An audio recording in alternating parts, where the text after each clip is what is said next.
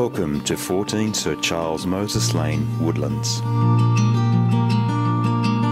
The property was formerly owned by the Lucas family from 1967 when artist and potter Irene Daisy Lucas moved from Sydney where she had a home studio in Sylvania.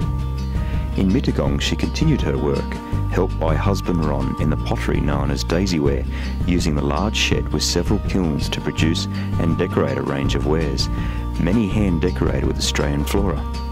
The A-frame structure of the highway frontage of the property was where the week's work would be taken each Friday night and arranged for sale to tourists and locals over the weekend.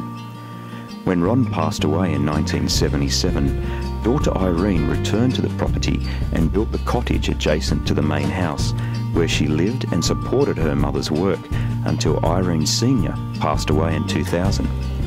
The McCrone family, local restaurant owners, purchased the property in 2002 and have lived there for 14 years where the family's two young sons enjoyed all the benefits of rural life with easy access to town. They have owned every kind of animal as a pet and had trail bikes and sporting opportunities, making full use of the 20 acres as growing boys will do.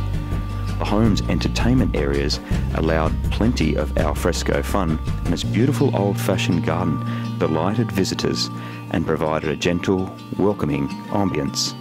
Now, reluctantly moving on, the family offers this comfortable home, lovely garden, and surrounds to its next lucky occupants. This property will be going to auction on site at 2 pm Saturday, the 19th of November, if not sold prior. For more information, contact Oz Fikri on 0421 507 777.